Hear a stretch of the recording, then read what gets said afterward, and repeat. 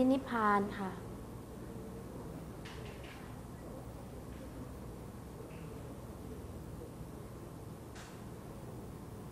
อะวันวิสาขบูชา มีเหตุการณ์สำคัญอะไรนะหนึ่งคือหนึ่งคือ วันประสูติสองคือตัสรู้สามคือ ปรินิพพานของใครของ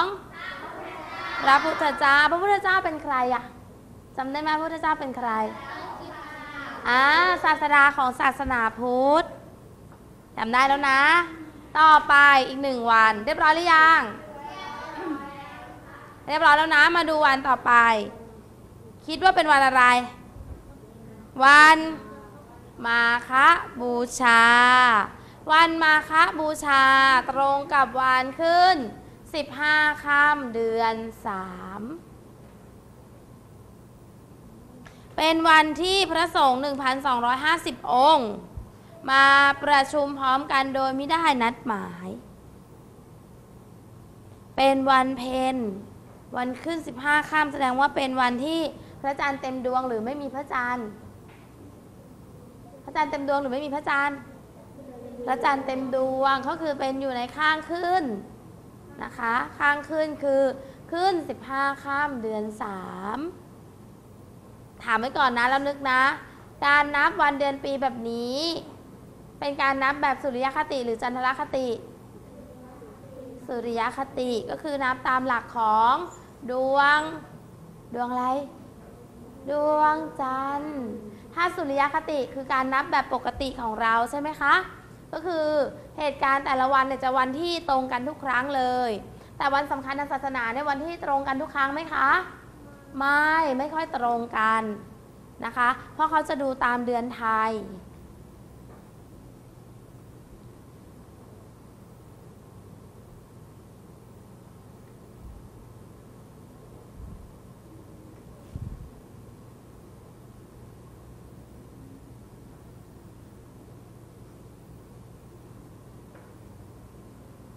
วันนี้นะคะมีเหตุการณ์ก็คือ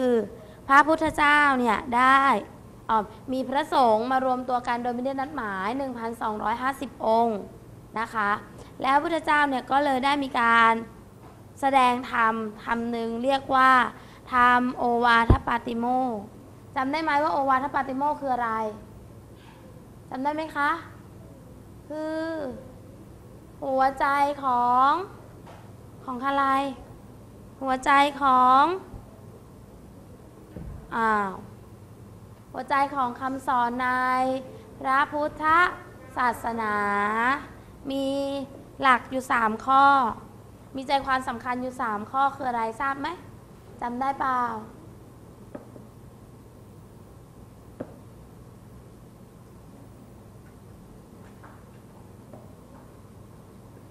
เรียบร้อยหรือยัง อะเดี๋ยวรอเพื่อนอีกหนึ่งนาที ฟังแล้วก็จำไปด้วยนะ นึกคิดตามคุณครูไปด้วยนะคะ เดี๋ยวมีทดสอบนะ วันนี้มีทดสอบทั้งหมดกี่ข้อ10ข้อเหมือนเดิม เอา20เลยเหรอ เก็บไว้บนหลังนะ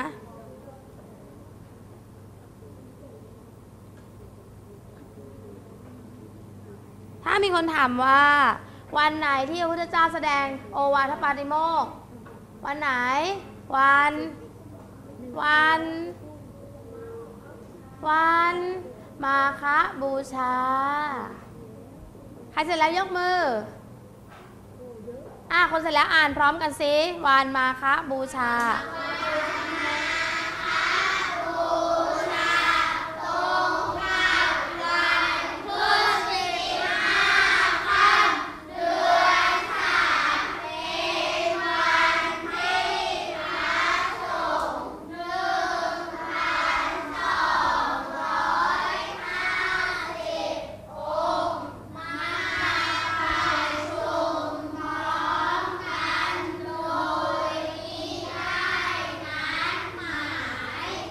วันมาคบูชาคือวันที่พระสงฆ์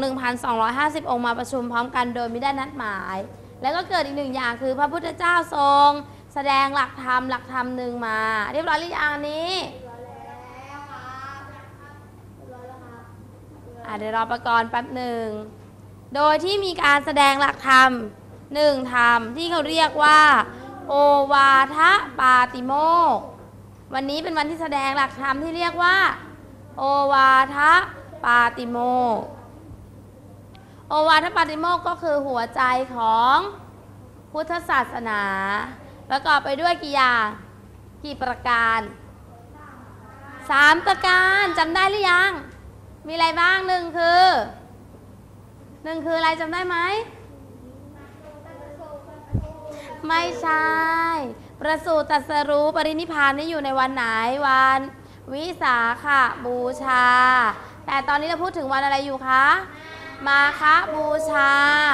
เป็นวันที่พระสงฆ์มารวมตัวมารวมการประชุมพร้อมกันโดยไม่ได้นัดหมาย 1,250 องค์ เมื่อพระสงฆ์มารวมกันมาชุมนุมรวมกัน พระพุทธเจ้าก็เลยได้ แสดงหลักธรรมให้หลักธรรมหนึ่งเรียกว่าหลักธรรม โอวาทปาติโมกหรือหัวใจ คำสอนของพุทธศาสนา ประกอบไปด้วยกี่ประการสามประการคือหนึ่งอะไรอ่านสิคะหนึ่งคือสองสาม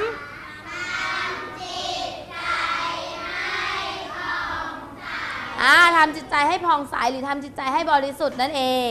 ตรงนี้จดตรงไหน จดตรง หลักธรรมโอวาทปาติโมก หลักธรรมโอวาทปาติโมก เขียนเห็นยัง หลักธรรมโอวาทปาติโมก หรือหัวใจคำสอนของพุทธศาสนาสามประการ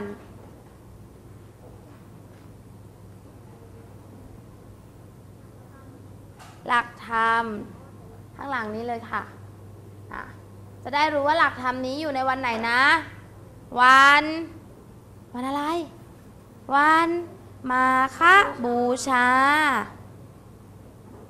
วันมาฆบูชาตรงกับวันขึ้น 15 ข้ามเดือน 3 เป็นวันที่พระสงฆ์มาชุมนุมรวมกัน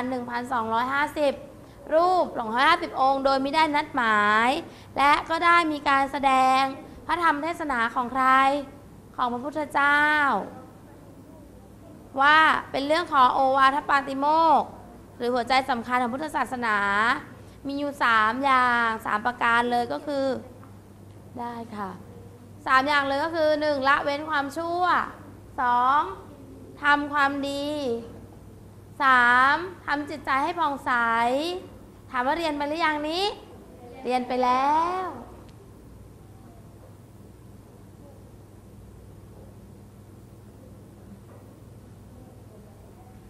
ถ้า ตอบได้ก็จะไม่ให้โจทย์ทีนี้ไม่มีใครตอบได้เลย ใช่ไหมคะ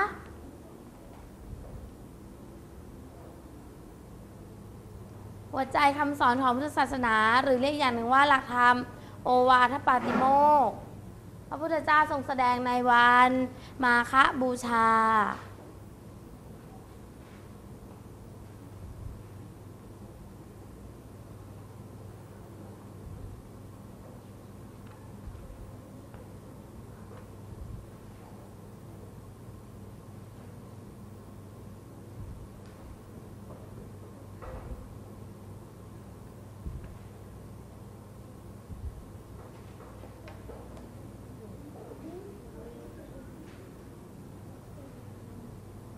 บร้อยไหมเริ่มมีเสียงแล้วไงกูก็เลยถามว่าเรียบร้อยหรือเปล่า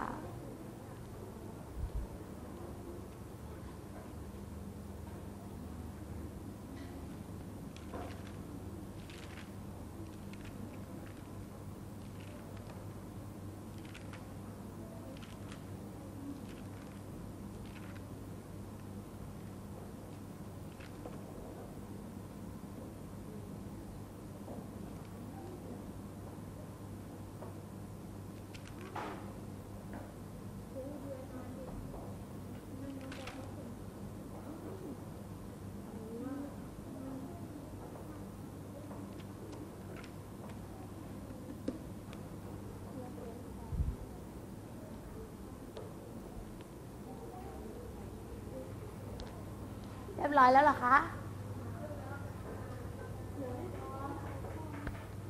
ถ้ามีคนถามว่า หัวใจของศาสนาพุทธ หัวใจของหลักธรรมคำสอนศาสนาพุทธคืออะไร ทราบไหมตอบได้ไหม คือโอวาทะปาติโม มีอยู่ด้วยกันกี่ประการสามประการ ประการที่หนึ่งคือสอง สาม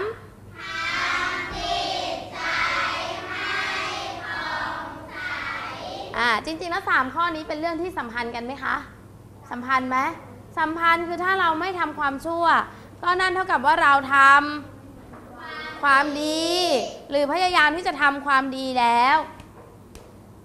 ทำจิตใจให้ผ่องใสล่ะ ก็คือการทำจิตใจให้บริสุทธิ์ ใช่ไหมคะ การนั่งสมาธิเป็นการทำจิตใจให้ผ่องใสไหม เป็นไหม เป็น การสวดมนต์เป็นการทำจิตใจให้ผ่องใสไหม เป็น การทำให้ตัวเราเนี่ยรู้สึก รู้สึกเป็นยังไง สบายไม่เบียดเบียนผู้อื่นใช่ไหมคะ ใช่ไหมกัมพูใช่ ก็จะทำให้รู้สึกว่าจิตใจเราผ่องใสเริ่มสงบ ใช่ไหม เริ่มสร้างสติสมาธิให้กับตนเอง เรียบร้อยหรือยัง เรียบร้อยแล้วต่อไปไปดูวันต่อไปวันที่ วันที่เท่าไหร่แล้ว วันที่สามวันที่หนึ่งคือวันอะไร วิสาขาบูชา มีความสำคัญยังไงนะ มีเหตุการณ์สำคัญเกิดขึ้นสามเหตุการณ์คือ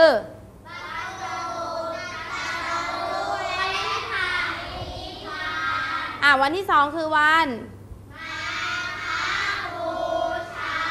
มีเหตุการณ์อะไรเกิดขึ้น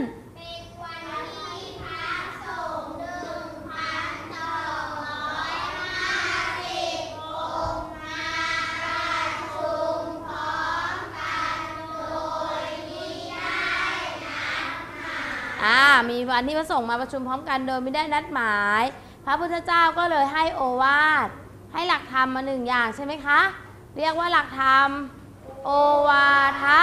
ปาติโมกประกอบไปด้วยหัวใจสำคัญของพุทธศาสนากี่ประการสามประการคือ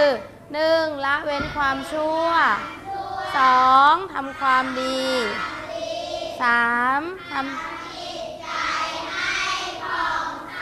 อะทีนี้ต่อไปวันที่สามคือวัน วันอะไร วันที่ใกล้ ๆ จะถึงเนี่ย